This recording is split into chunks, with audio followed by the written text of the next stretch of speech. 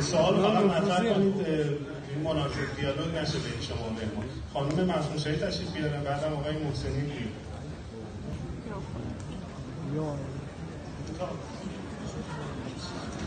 آقای پزشکیان من از اهالی کرمانشاهم. خطه شجاع کردشی صحنه های دلخراشی را دیدم که تمامی وجودم را آزرده است. دختری که تمام خانوادهش زیر آوار مانده بود. خانواده ای که قارنشین بودند و ریزش کوه قار را هم از آنان گرفته بود. پیرزنی که تنها به خاطر رسیدن نایلون برای سقف چادرش دست مردم را میبوسید. مردمی را دیدم که هنوز امید داشتند. نمایندگان لیست امید برای آنان چه کردند؟ اگر کمک های مردمی نبود چه کسی به داد آنان رسید؟ آقای پزشکیان جواب سوال های ما را بدهید. قبل از انتخابات حرف های قشنگی می‌زدید اما صحبت های جدیدتان جامعه دانشجویی را دلخور کرده است. آقای پزشکیان در دانشگاه شهید بهشتی می‌گویید به مردم برای رأیتان مدیون نیستید؟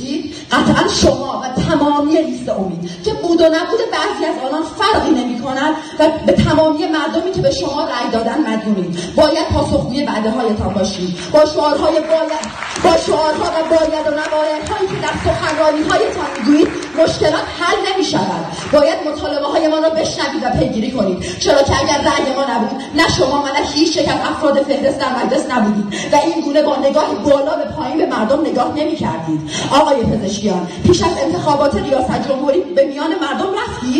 اگر رفتید قطعا موج ناامیدی را دیده تلاش شبان و روزی دانشجویان بود که نشاط را به جامعه بازگرداند. اما بعد از انتخابات شاهد چه بودیم؟ وزیر زن داشتیم یا وزیر اهل سنت؟ در آخر هم گزینه بیست چندم آقای رئیس جمهور برای وزارت علوم انتخاب شد.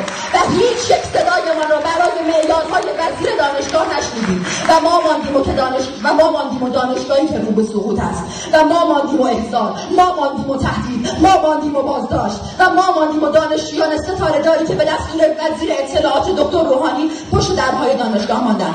البته باید بگویم ستاره دانشجو مدال افتخاری شده است. آقای پزشکیان اگر دانشجویان برای مردم نبود وقتی شعار مجلس بیکفایت نمی‌خواهیم را در دانشگاه شهید بهشتی شنیدید آنها را بیکفایت خطاب نمی‌کردید آقای پزشکیان با گردش به راست آقای روحانی و عملکرد شورای شهر اگر نمایندگان همان رویه را که برای انتخاب وزرا انتخاب کردن در پیش بگیرن دیگر تکرار می‌کنیم. سید محمد خاتمی و رأی می‌دهم میر حسینمان هم مردم را به پای صندوق نمیآورند. آقای پزشکیان از شما درخواست داریم محافظه کاری را کنار بگذارید و کمی جسارت و شجاعت به خرج بدهید.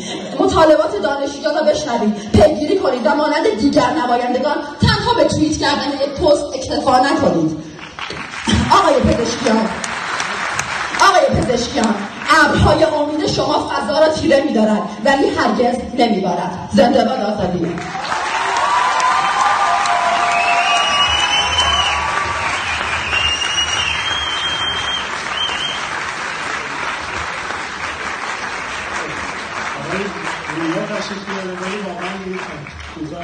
سب کن یه مقدار این آتشی که درست کرد بخوری.